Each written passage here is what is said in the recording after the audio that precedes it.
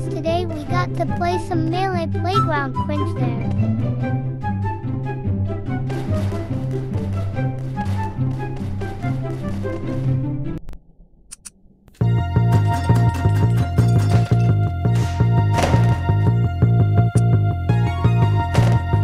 I need to beat this game right now, guys. Wait, Daddy, my computer. What do you want, brat? My computer has coronavirus. Okay, I will fix it. Don't stop complaining.